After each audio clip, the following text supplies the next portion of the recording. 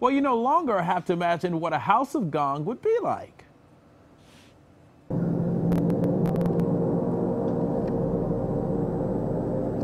Wow. This is cool. This room was built for relaxation. Hmm. It has a kaleidoscope of colors changing on big screens, reclining chairs, and giant metal domes being struck by a real gong master. The Sound of Visual Experience is part of El Segundo's Art Walk tonight. It's a monthly summertime event where about 45 businesses in town open their doors and share art and interactive experiences with the community. So cool.